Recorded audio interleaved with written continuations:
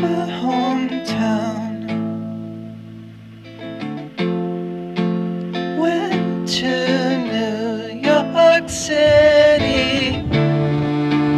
Got a room at Hotel Chelsea.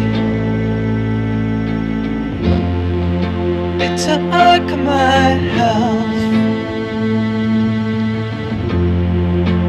Took every last of my pennies. What's left of my soul